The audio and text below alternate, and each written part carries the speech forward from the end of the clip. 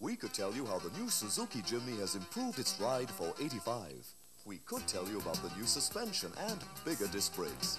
We could talk about the all-new foolproof rust-proof and about custom accessories that are now standard.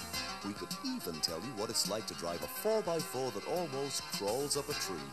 But surely you prefer to experience all this yourself. Test drive the 1985 Suzuki Jimny. Even the price tag looks better.